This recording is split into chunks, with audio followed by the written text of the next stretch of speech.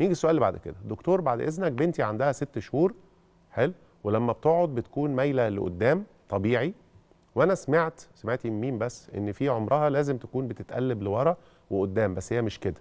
أروح بيها للدكتور؟ لا ما تروحيش بيها للدكتور. اولا حكاية إنها تميل لورا ولقدام دي مش مشكلة خالص هي بتميل يعني الطفل واحيانا في أطفال بتميل للجناب على فكرة. وده فرصة كويسة إن أنا أقول لحضراتكم حاجة مهمة قوي عن جلوس الأطفال عن ست شهور إحنا هنا بنقول ده بدء المهارة. في فرق ما بين الجلوس اللي بياخد ثواني بالمناسبة يعني وحفظ التوازن أثناء الجلوس. الناس ممكن تفتكر إن الجلوس ده حاجة واحدة إن القعاد يعني إن إحنا نقعد الطفل ده حاجة واحدة. لا في فرق ما بين إن الطفل يقعد يقعد يعني يبقى قاعد أهو طبيا وعلميا ما عندناش مشكلة إنه يقعد بس هذا الأمر لا, يجب أن يستمر طويلا. من عند ست شهور لا يجب أن يستمر طويلا.